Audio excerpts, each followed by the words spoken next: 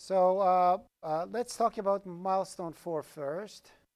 So with, with milestone four, you are actually creating uh, uh, two classes out of the item class that you had.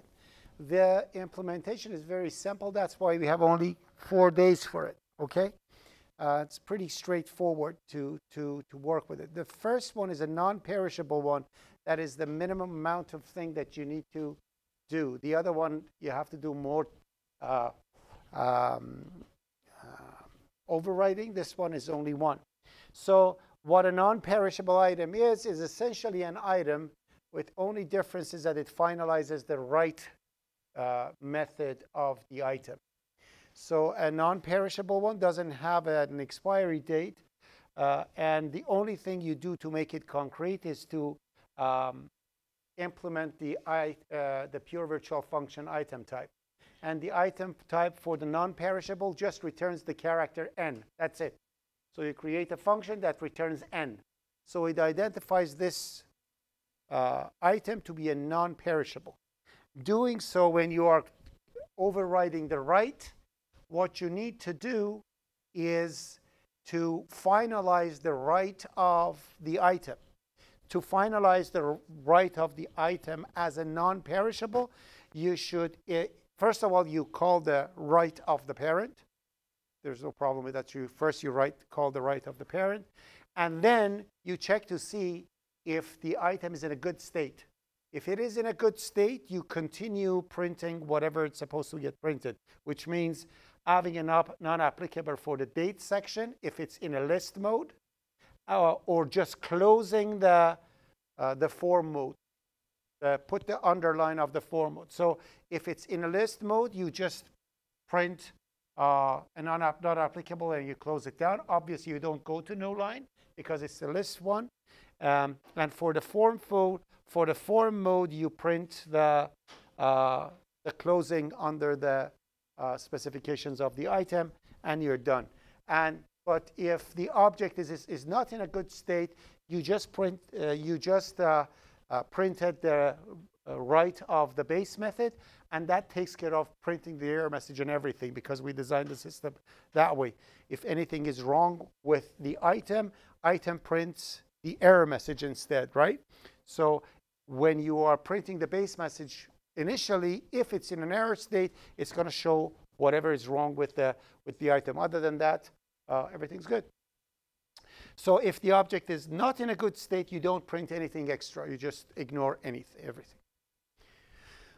That's the uh, non-perishable item. The perishable item uh, has more work to do. Um, first of all, because it's perishable, you need to add an attribute to it that is a date attribute. So it needs to have a date attribute to hold the expiry date.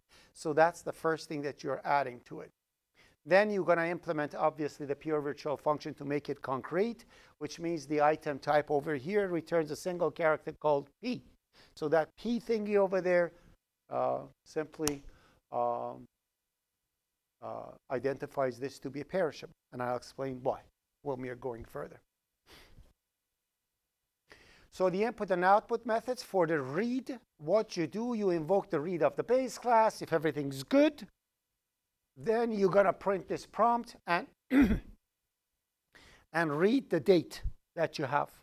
So you extract the date from the ice istream. And date knows how to deal with itself. So after this is done, then you check the date. If date is in a good state, life is beautiful, you just set the date. If date is not in a good state, then you set the error message of the item to the error message of the date. So when we are printing the item, it shows what went wrong. Okay? So again, you invoke the read of the base. The base is read. Done. Uh, um, then you check to see if everything went okay. So you check to see if it's in a good state. If it is, you, you, know, you can you create a local instance of date, and you simply get that from the user. If everything goes well, you set the expiry date to the date that you read. If it doesn't go well, you set the error message of the item to the error message of the date, and you get out.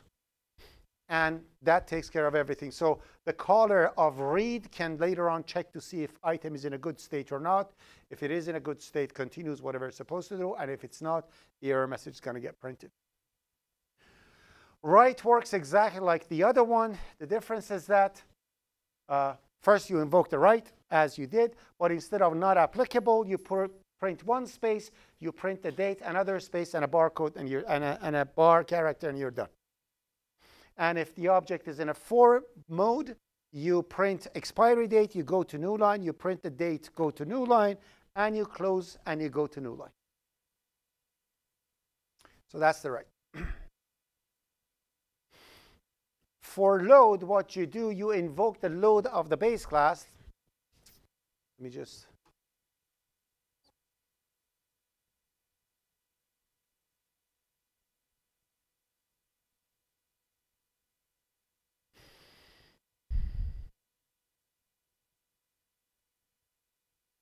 Yeah, so for load, you invoke the, the load of the base class. Then you check to see if the, the, the item is in a good state and also check to see if iStream failed or not. So if they're both OK, and again, in a local uh, um, date uh, uh, instance, you uh, set uh, the that date to date only because we don't want any uh, minutes and second hours and minutes to it. Then you ignore one character to ignore the comma because now you are loading. You you read the item. Now there is a comma, and then you have to read the date. So you ignore one character. Then you extract the the date from iStream, which is essentially IF stream. You extract it from IF stream and you check to see if the read was successful. If everything was good, you set the date of the object again to the date that you read. And if it's not good, you set the error of the object to the error of the date.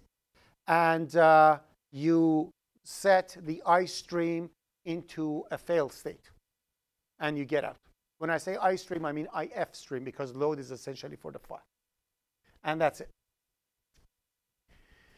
So that uh, completes the, the load. And save is uh, very simple. You just simply invoke the save of the base class. And if everything's good, you insert a comma, and then you insert the date, and you're done. It simply adds a comma and a date, and date knows how to uh, insert itself into OF stream. So it's going to print a comma and an OF stream, and everything's done. So uh, how we actually tested this was like this. So for uh, with the testers, um, uh, the tester for milestone four, let me actually bring milestone four up so I can actually show you what the test is, tester is for it.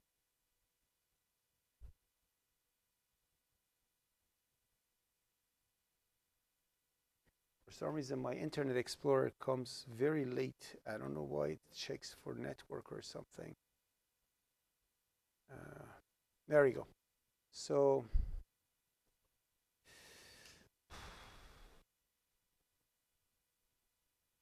so milestone four. All right. So for the tester, when we look at the tester, where is the tester? Tester. Tester?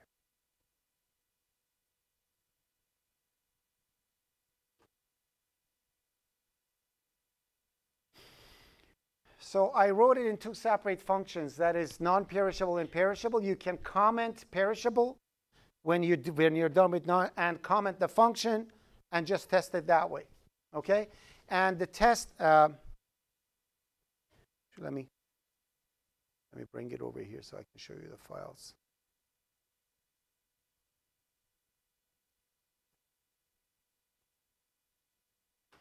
So the files I created, they are input files and output files. The reason for it is that when an item is reading itself, it assumes the data is beginning from SKU.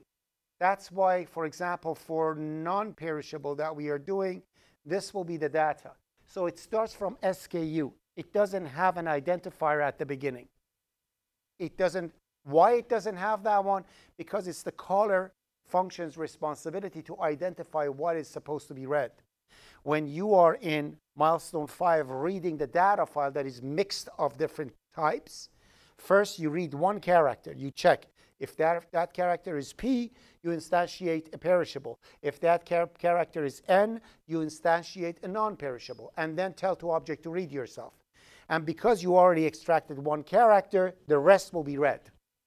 That's why it happens like this. So read of an item, perishable or non-perishable, assumes that the reading starts from the SKU. That's why the tester is like that.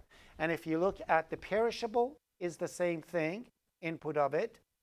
Uh, it starts from the SKU. But when it actually generates the output, that's a different story. So in main, let me just uh, uh, comment the perishable and run it. Not there, commented here. Oh, it is already because it's non-perishable. So um, let me just comment this one.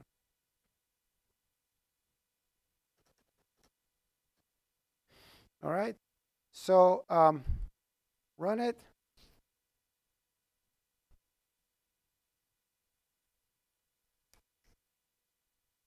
Okay, so let's put this one out here, and this one's going to go on left.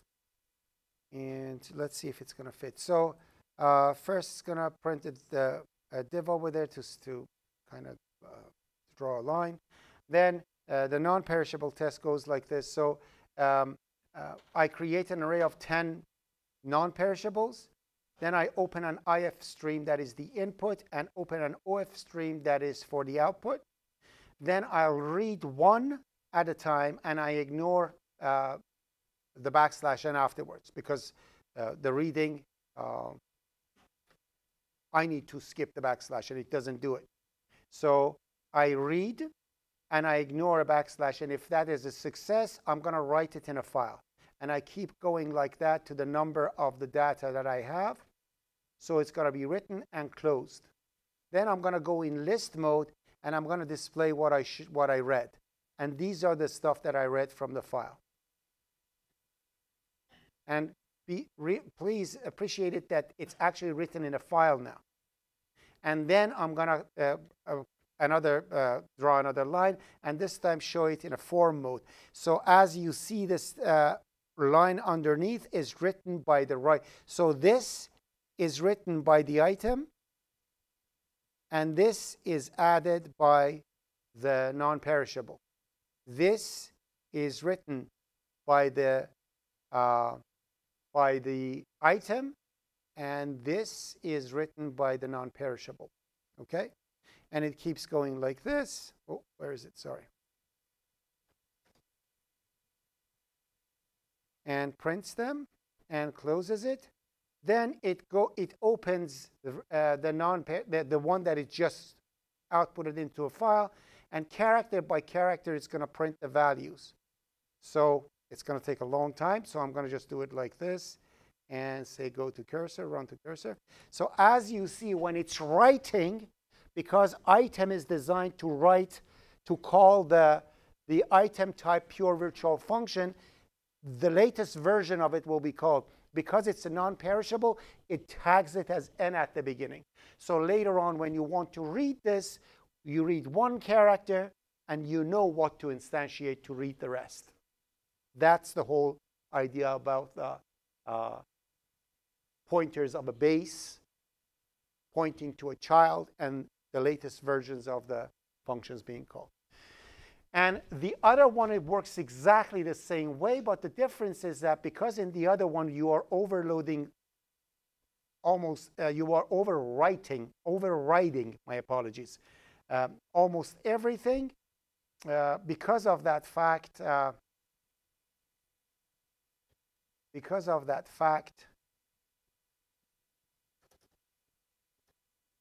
it tests the data entry and everything like that too. So when we run it,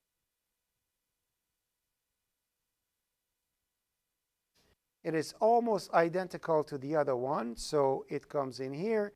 Again, the same thing, creates 10 perishables, opens the input, opens the output, and it reads them one by one and writes it into a file. But then what it does, it asks you to enter something from the entry to see if actually the cin that you are doing, the extraction is overloaded properly. This is the read method being invoked now. So when I press F10 over here, it actually asks. So again, please do not enter these things manually. Just double click and right click and enter. Okay, double click, right click, twice, enter. Double click, right click. If you are on Linux, you do one right click, but here you have to do two. Double click, double click, two right clicks, enter, double click, two right clicks, enter, double click, two right clicks and enter. And now the value is read, and that will be written into the file too. So the last thing that we read will be written into a file. And then it's going to list everything. And as you see, the last one that was milk is added to the file too. So this is what you added. Then it does it uh, like form. So again, this is now added to the form by the perishable, and this is what is added to the list by the perishable. So these are done. And then obviously it's going to print the, the, the content of the file. And that's what we're going to have in a file with the milk at the end. That's the last one that you added. And that's milestone four. This is very, very simple thing to do. It's not going to take you more than a day to do it. Therefore, you have four days. So that was milestone four. Any questions about milestone four? Yes.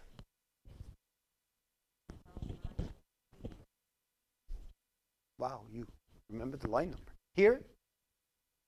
Or in the... Oh, okay, okay, okay. So what does ignore return? iStream reference, correct? So if you put an ISO, if I had it like this in here, if I had it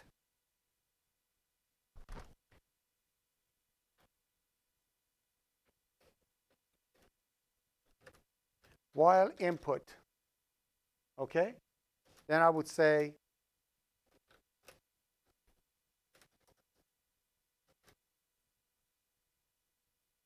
input that, and then I would say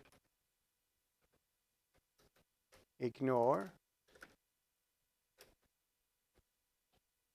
Then I would say if input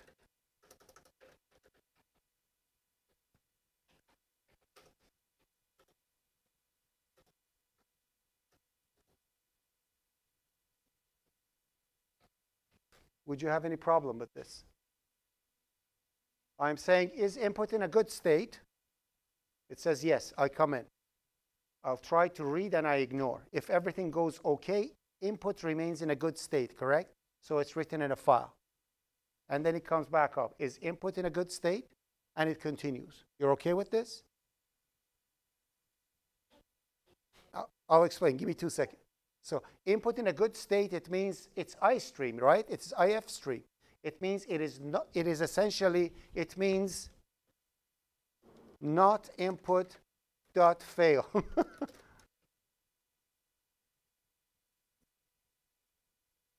it means the read was successful. If the read is not successful, it means I hit the end of the file, right? So that's what I'm doing, what I'm doing, okay? So that's that. Now, instead of writing all this, I, I can put it over here. I, um, so in here, I'm going to say copy. Um, and I'm going to add it to this stage no, uh, uh, overview, okay? So essentially, uh, I'm going to put this actually in the, let me just put it over here. I'm going to put it in 244 overview. We never needed that, so I'm going to delete that. And I'm going to put over here MS5. And in here, I'm going to say, I'm to paste it over here, and I'm going to call it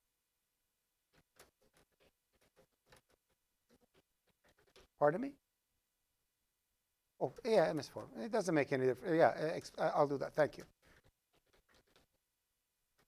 While explained main.cpp, and I'm gonna uh, I'm gonna rename it afterwards.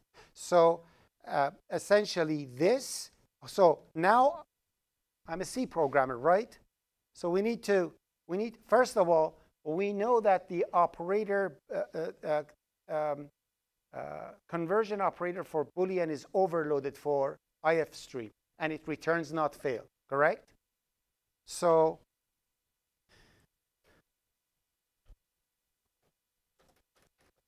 So because it returns not fail, if I do it like this, it will still work, correct? Correct? Then I would say, okay, if I extract this into the what I want to read, the outcome of this one is input, correct? So I don't need to put that one over there. I'll put it over here, correct? And I know that ignore by itself returns the reference of the input, correct? So I'm going to put this one over here too. Obviously, I'm going to need uh, parentheses to kind of put an emphasis on it. So that's going to be the same. Now, if it fails, nothing's going to happen, so I don't need an if statement. Therefore, such an ugly, humongous thing is shortened to that.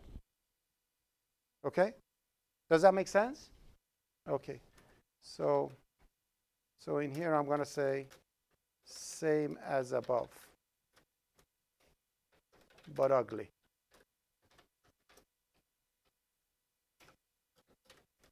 Okay? So I'm going to save this. So it's going to go into the uh, explanation of how, how it works. Okay? Thank you. That was a very good question. So let me actually fix the overview thingy that I put over here. So project overview, because I, I, I put it MS5 by mistake. Thank you very much for, for noticing that. So that's going to be MS4. And done. Okay, so that's that. So that's MS4. Any other question about MS4?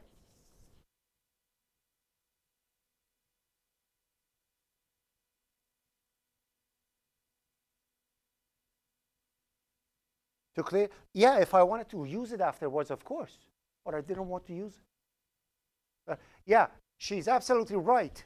Just take a look at this. If I actually, like if in here, if I wanted to do something afterwards, where is my while loop? If I wanted to do something with that input thingy, I will do it. I would, if I wanted to read again, I would clear it. I don't need it. I just want to close it and be done with it. So I closed it. So everything's done. But you're absolutely right.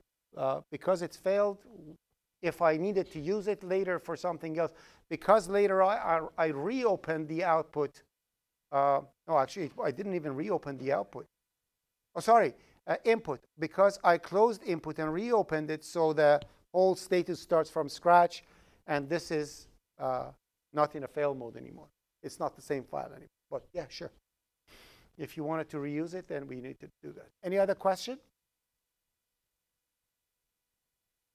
Suggestion? Objection? All right, so that's milestone four.